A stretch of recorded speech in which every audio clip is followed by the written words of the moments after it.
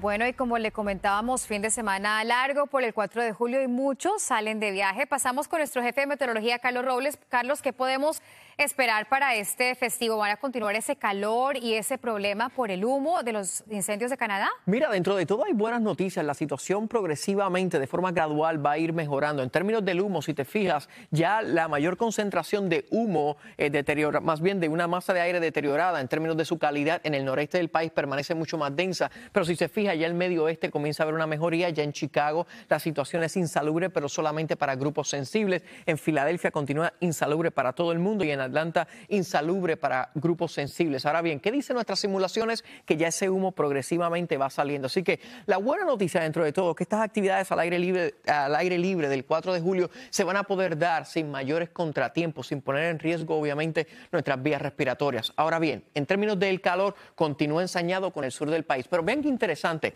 en la periferia exterior de ese anticiclón se están dando tormentas muy fuertes. Ayer hubo más de 500 reportes de tiempo severo de vientos en las planicies centrales. Y esto nuevamente hoy se repite. Si se fija, Vean la curvatura del anticiclón y justo en la periferia exterior es donde se van a estar dando esas tormentas. 23 millones de personas hoy pudieran estar viendo tornados aislados, granizos y vientos fuertes. En términos del calor, ya vean que ha habido una reducción ligera en cuanto a temperaturas e índices de calor. No obstante, viernes y sábado aún va a ser un tanto eh, peligroso con índices de calor entre 109 a 110 grados, ya no 116 a 118. El oeste del país sí está en problemas. Vean.